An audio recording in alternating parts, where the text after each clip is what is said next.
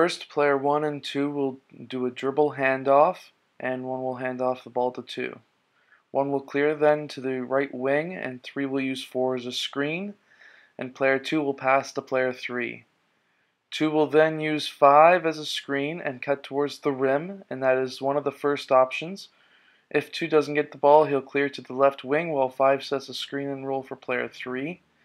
3 can either take the ball to the rim himself, take a shot, or pass to player 5. In the video, 3 passed to 5, and 5 was able to score.